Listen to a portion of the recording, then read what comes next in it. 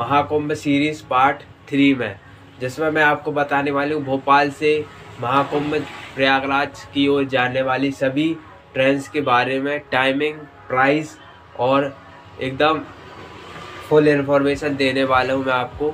तो बने रही इस ब्लॉग में कंटिन्यू ये क्योंकि ये वीडियो एकदम इन्फॉर्मेटिव और इंटरेस्टिंग होने वाली है। तो चलिए गाइस बिना किसी देर के स्टार्ट करते हैं आज की इस महाकुंभ सीरीज़ पार्ट थ्री के तीसरे वीडियो में। तो हमारी ट्रेन होने वाली है। तो गाइस मैं आपको बता दूँ, ये एक ट्रेन ही होगी जो कि डेली जाएगी। बाकी दो ट्रेन और हैं जो कि जाती हैं भोपाल से लेकर प्रयागराज। जी हाँ गाइस आपने सही सुना, ये ट्रेन, ये सीरीज़ में पार्ट थ्री हमारी होगी सीरीज़ की, जिसमें हम बताएँगे आपको भोपाल से प्रयागराज जंक्शन जाने वाली सभी ट्रेन के बारे में।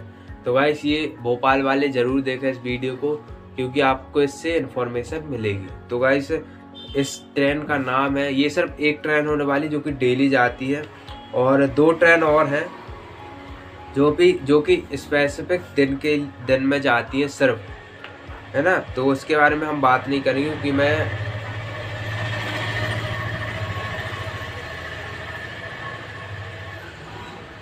इस सीरीज़ में सिर्फ़ उन्हीं ट्रेन के बारे में बात कर रहा हूँ जो कि डेली जाती है। ठीक है गाइस तो ये आपको एक ही ट्रेन मिलेगी जो कि डेली जाती है।